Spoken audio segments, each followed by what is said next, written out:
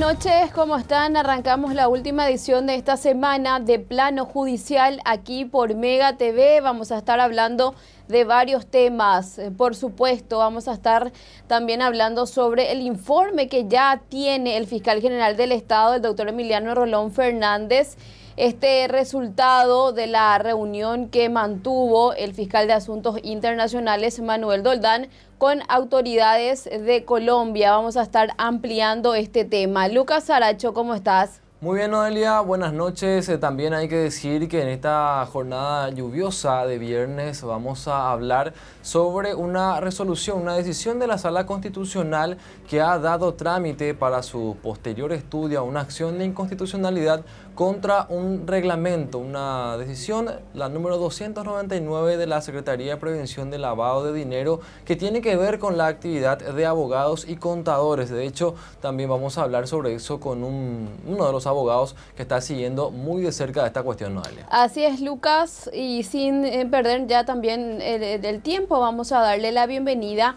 al doctor Manuel Riera para hablar sobre esta acción de inconstitucionalidad que ya le dio también trámite la sala constitucional. Buenas noches, doctor. Gracias por acompañarnos aquí en plano judicial. Hola Noelia, hola Lucas, no al contrario, el agradecido soy yo por la invitación. Bueno, doctor, para entender un poco también esta acción que, se presentó y eh, tiene que ver justamente con que atenta en contra de lo que sería el secreto profesional y afecta a los abogados y también a los contadores. Eh, ¿Qué es lo que se busca con esta acción? Mira, para ponerte en contexto, eh, te recuerdo que hace unos tres, unos tres años más o menos, ahí por el 2021, Paraguay estaba pasando por una nueva evaluación en todo aquello que tiene que ver con su presentación internacional en Gafilat para América Latina. Y la gente de, de Gafi para América Latina, Gafilat, había venido de visita al Paraguay viendo cómo estaba todo el posicionamiento del país en el cumplimiento de sus normativas en su lucha contra todo el delito y todo el flagelo lavado de activos y financiamiento del terrorismo. En el marco de aquellas cuestiones salieron muchos paquetes de leyes, salieron muchas disposiciones normativas y entre ellas CEPRELAT sacó la famosa resolución 299. ¿Qué es lo que hace esta resolución? En palabras muy simples, traslada todas las obligaciones que, por ejemplo, hoy cumple un banco a un abogado particular. Es decir, un abogado tiene, al igual que un banco, al igual que una inmobiliaria, al igual que una, digamos, una entidad financiera y bancaria, tiene que hacer un análisis de debida diligencia de su cliente, tiene que ver de dónde viene el origen de los fondos, tiene que ver cuál es el destino de esos fondos, tiene que organizar un montón de, em, eh, digamos, de recursos, de información y si a su vez encuentran todo aquello, la posibilidad de que este cliente esté incumpliendo el lavado de activos, las normas de lavado de activos y cosas por el estilo, tiene que hacer una denuncia ante la Secretaría de, Lavado de Activos nuestra, que es la CEPRELAT, para que ésta eventualmente investigue, al riesgo de que inclusive el abogado pueda ser solidariamente responsable. Cuando esto se discutía, los abogados naturalmente dijimos, esto tiene un problema porque hay vicios que suponen la ruptura del secreto profesional, por un lado, que tiene sanciones penales para los abogados, y por otro lado, también supone un problema de la intimidad de esa relación abogado-cliente, en la cual con libertad vos podés perfectamente trabajar la estrategia de una defensa. O sea, si Noelia me dijera a mí o Lucas me dijera a mí, eh, necesito tu defensa para ciertos hechos punibles, lo primero que una persona te pregunta es, bueno, ¿qué pasó? ¿Cumpliste o no cumpliste? ¿Puniste o no puniste? Si en la función de este diálogo íntimo de confianza que vos empezás a construir con quien te va a defender, terminás contándole porque lo tenés que hacer, si cumpliste o no la ley, si incumpliste o no cumpliste, etcétera, yo no puedo ir a denunciarte. Cuando mi trabajo es trabajar tu defensa.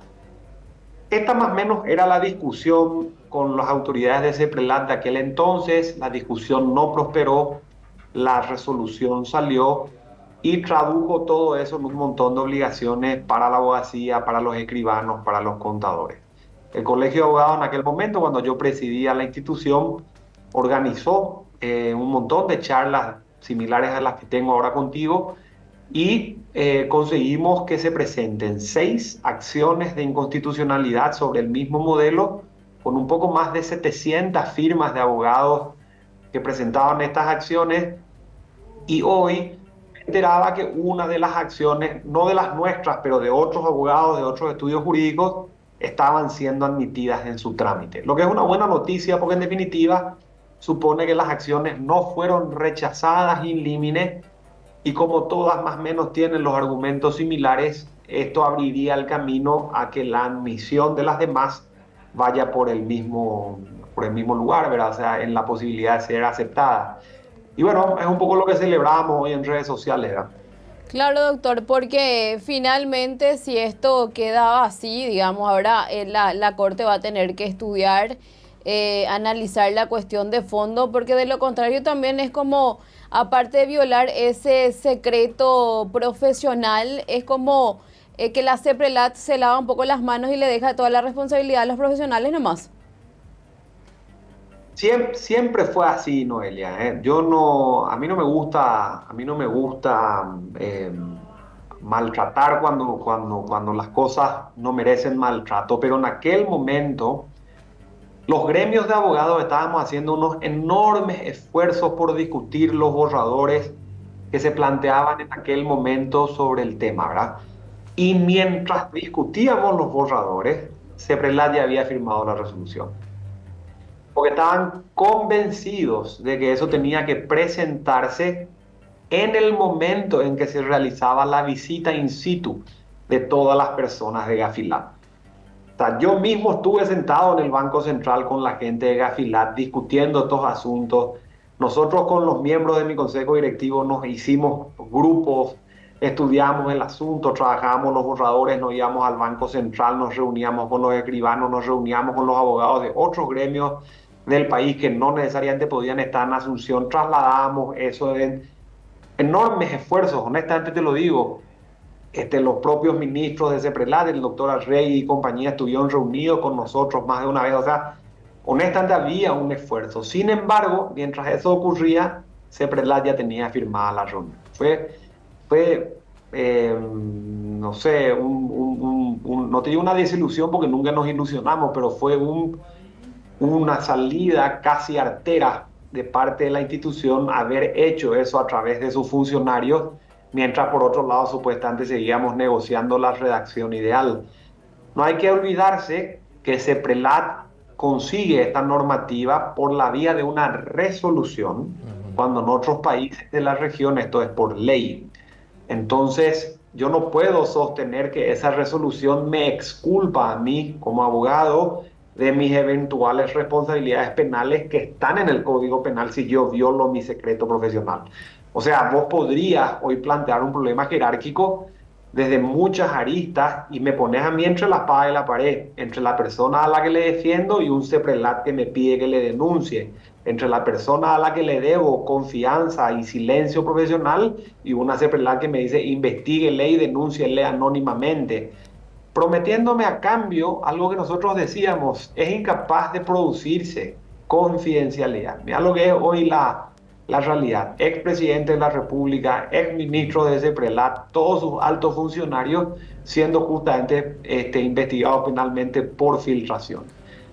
Entonces, doctor, yendo contento con la noticia. A, a, esa resolución 299, doctor, estaba mirando un poco los antecedentes y entiendo que la misma no abarca algunas eh, cuestiones como por ejemplo cuando un abogado ejerce como procurador o ejerce como patrocinante dentro de un litigio eh, judicial. Eh, ¿Qué cuestiones básicamente abarca este reglamento y por sobre todo si está vigente y si se cumple o no también dentro de todo porque ya data esta normativa o esta resolución del año 2021, doctor?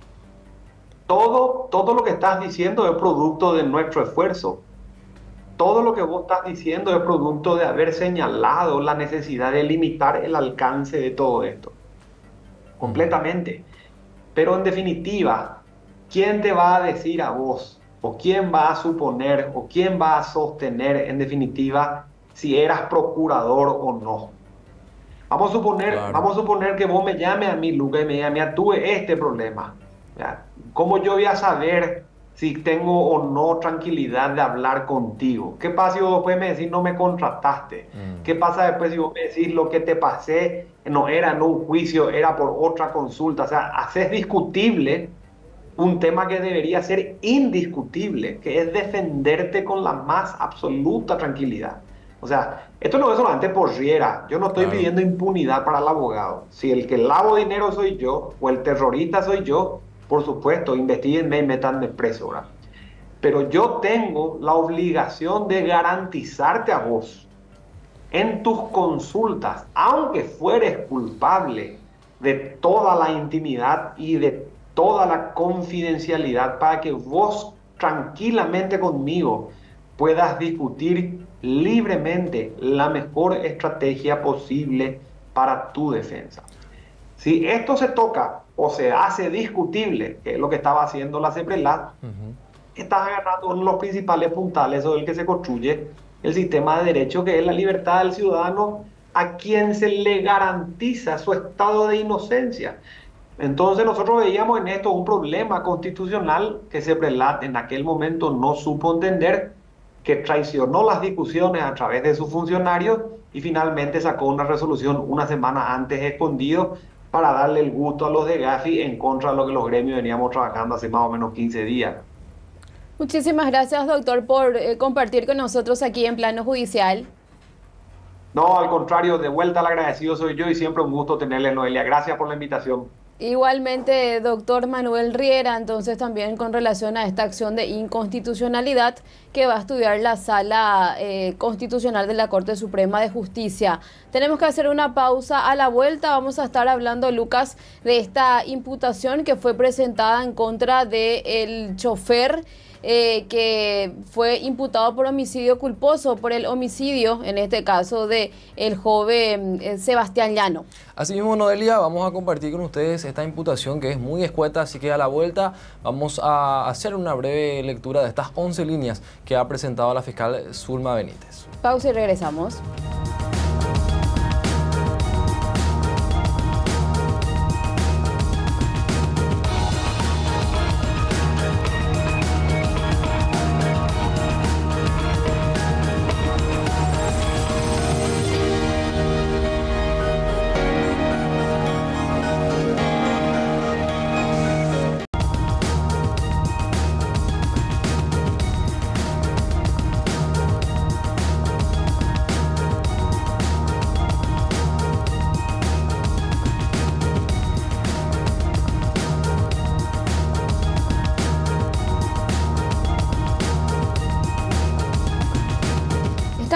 Haciendo plano judicial aquí por Mega TV y tenemos que hablar también, Lucas, del caso del magnicidio del fiscal Marcelo Pecci porque el fiscal general del Estado, el doctor Emiliano Rolón Fernández, ya tiene el informe que fue presentado por el doctor Manuel Doldán, el fiscal de Asuntos Internacionales que estuvo por Colombia.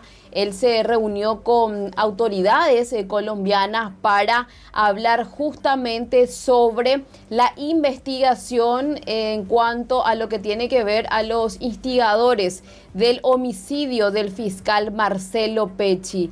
Tanto se cuestionó eh, del no avance y por supuesto también eh, de que se haya solicitado esta reunión luego de que la fiscal del estado de Florida haya estado por eh, Colombia y también se estuvo entrevistando ahí con, lo, con las autoridades. Entonces después recién como que la fiscalía de nuestro país reacciona y solicita también una reunión. Sobre eso entonces...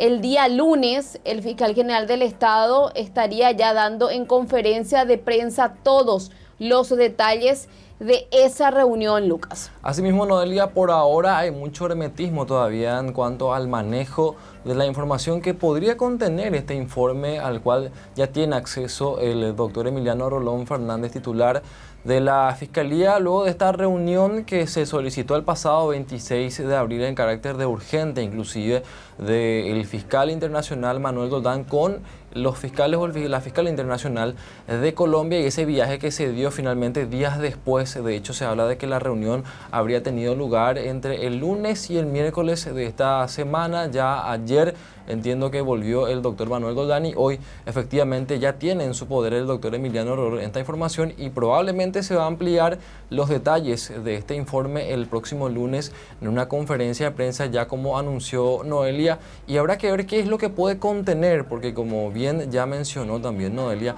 esta solicitud de reunión en carácter urgente se dio luego de que en Colombia se haya publicado la información de que agentes de la DEA y también de la Fiscalía de Florida estén detrás de estas personas que ya fueron condenadas, inclusive y se habló de la posibilidad de una extradición. Esto también fue cuestionado recientemente en un comunicado por parte de la viuda Claudia Aguilera. ¿Qué podría tener este informe? Es la pregunta que nos hacemos a partir de ahora. ¿no? Así es, Lucas. Y para ser más precisos, el doctor Manuel Doldán fue el único que viajó a Colombia y él se reunió con fiscales, con los policías también, con directores de lo que sería el cuerpo técnico de investigación, también la policía judicial y todo lo que él fue y, y se reunió justamente para ver un poco eh, qué es lo que estaba solicitando Paraguay a Colombia eh, en cuanto a quienes serían los responsables de dar la orden de mandar a matar al fiscal Marcelo Pecci, todo lo que ya hizo Colombia y todo lo que nos hizo también, así como nuestro país es lo que se presenta, digamos, en este informe. Y reiteramos, el día lunes, el fiscal general del Estado, el doctor Emiliano Rolón Fernández, entonces en una conferencia de prensa, estaría ya brindando todos los detalles. En principio se maneja que el lunes va a ser la conferencia, tampoco se descarta, pero eh, que, que sean los próximos días. Lo cierto y lo concreto es, Lucas, que esos detalles sí se va a brindar en una conferencia de prensa. La fiscal que está en esta causa es la doctora Matilde Moreno, ¿no? Asimismo es, ella lidera un equipo de trabajo que a su vez está conformado con otros eh, fiscales de crimen organizado, inclusive antidrogas, que conforman este equipo que en su momento conformó el propio fiscal general y que este fin de semana se van a interiorizar también con el doctor Rolón Fernández en torno a este informe para posteriormente dar a conocer lo que contiene el mismo y por supuesto vamos a estar más que atentos a los detalles que se puedan dar en esa eventual conferencia que se prevé se realice, si no el lunes, en los siguientes días de la próxima semana. Así es entonces esta información que dábamos a conocer tempranito esta mañana en el programa Marcando Pautas, eh, por supuesto, por Mega TV y también por Radio Primero de Marzo. Tenemos que cambiar de tema porque otro de los casos que estuvimos viendo en Lucas tiene que ver con esta imputación presentada por la fiscal Zulma Benítez en contra del chofer Adam David Hortellado y llama poderosamente la atención y ya se van a dar cuenta porque Lucas, ¿qué es lo que dice esta imputación? Bueno, es básicamente una descripción de lo que ocurrió y que no hace, digamos, la conexión entre la conducta del chofer y la responsabilidad que él mismo tendría en el desenlace fatal que se dio ya el martes por la tarde. Vienen ustedes allí en imágenes el acta de imputación número 24, un poco más abajo, luego de la identificación, por supuesto, del imputado, allí en la parte del centro. Son 11 líneas que voy a pasar a leer y van a entender ustedes a qué nos estamos refiriendo con Noelia. En fecha 14 de mayo del 2024, siendo las 19 horas aproximadamente sobre la ruta Ecovía a 20 metros aproximadamente del desvío a la ciudad de Nueva Colombia, de la ciudad de San Bernardino, se habría producido un accidente de tránsito protagonizado por Ardán David Ortellado González, conductor del camión Mercedes-Benz, quien se habría estado dirigiendo hacia la ciudad de Luque luego del salir del desvío que va a la ciudad de Nueva Colombia. El conductor del otro vehículo de la marca Toyota modelo Hilux de C4x4, Santiago Llano Marín, víctima fatal del hecho, quien se desplazaba en la misma dirección hacia la ciudad de Luque sobre la ruta Ecovía, produciéndose el percance involucrando la estructura posterior lado izquierdo del camión y zona frontal de la camioneta. Posterior se habría producido el vuelco del último vehículo mencionado. La médica forense del Ministerio Público, doctora Araceli Ojeda, determinó como causa de muerte traumatismo de cráneo encefálico grave conforme consta el acta de defunción que está a fojas tal de la carpeta fiscal. Ese es el relato. Y ahí están los elementos de sospecha que son cinco, ¿no? Y a priori estamos viendo eh, qué es lo que finalmente, cuál es aquí eh, la responsabilidad del chofer, por ejemplo, ¿verdad? O sea, él se adelantó, no se adelantó. Eh, qué detalles se tiene. Es simplemente copiar, pegar y decir, esto, bueno, la vamos a imputar por homicidio culposo. Así mismo es. Y llama poderosamente la atención que incluso en estas circunstancias, porque hay que recordar que hay una acordada de la Corte Suprema de Justicia que dispone cuáles son los elementos que tienen que poseer una o que tiene que tener una imputación para que pueda ser admitida. La jueza de garantías de Cordillera, Silvia Cáceres, es la que finalmente termina dando eh, admisibilidad o admite esta imputación y luego una imposición de medidas establece como una fianza 500 millones de guaraníes para una persona que evidentemente eh, se gana la vida en el día a día y que y, también Lucas hay que decir como lo va a conseguir fácilmente sí como no cumple con los requisitos básicos para eh, se pueda admitir una imputación propiamente, la jueza ella podía remitir, eh, devolver esta imputación y decirle, como ya hemos visto en, en, varios casos, como hizo en su momento la jueza penal de garantías, por ejemplo, Cintia Lovera, también la doctora Lizzie Sánchez, en donde eh, le dice básicamente a la fiscalía, acá no me estás diciendo absolutamente nada. Así mismo. ¿Cuál es la responsabilidad de la persona imputada? Yo necesito más detalles. Y ahí es en donde también el juez eh, tiene que hacer ese control y después recién poder admitir. Y eso tiene esa potestad el juez. Evidentemente eso no se dio en esta oportunidad porque estaban viendo ustedes en las imágenes, esa es la imputación, son 11 líneas en las cuales simplemente se describe lo que ocurrió y no hay una conexión entre lo que decía ya la conducta del chofer y finalmente el desenlace fatal. No se menciona cuál es la conducta culposa, la acción culposa en sí, ni la, ni la carga criminal, lo que se, como se suele mencionar también en este tipo de, casos. Evidentemente no se da en la imputación. Nosotros quisimos conversar, de hecho, con la fiscal en varias oportunidades. Ella, ella, no habló mm. prácticamente con los medios.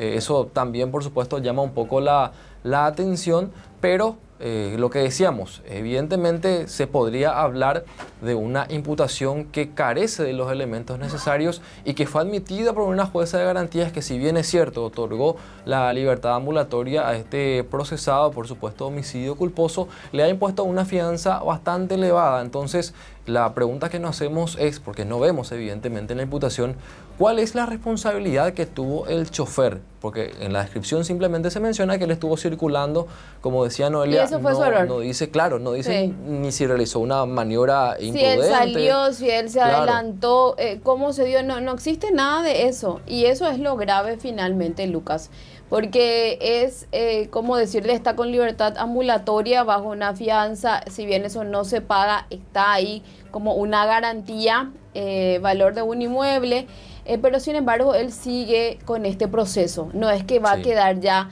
sin absolutamente nada. Y eso sabemos que es bastante tedioso, puede llevar mucho tiempo, así que es lo que se da y es lo que criticamos muchas veces también del trabajo de, de no todos los fiscales, pero cuando se trabaja de esta manera, finalmente se le perjudica a todos, Lucas. Asimismo es, y la crítica por sobre todo que se hizo en las redes sociales, Noelia, y hago mías también las palabras de algunos internautas, si esto fuera al revés, eh, uno se pregunta, ¿estaría en estas circunstancias la, persona, un hijo de un político o ex político que tuvo cierto poder en algún momento dado? Iba a estar en estas circunstancias, iba a estar más de un día y medio en el calabozo, eh, iba a ser imputado tan siquiera con una paupérrima descripción, porque la descripción es paupérrima, decía, no hay una conexión de hechos ni de responsabilidad. Entonces, esa es la, la cuestión, ese es el cuestionamiento que se hace principalmente, porque la Fiscalía ya en varias oportunidades, como bien lo decía Noelia, hay buenos fiscales, pero en muchas oportunidades también en casos similares donde se ven involucradas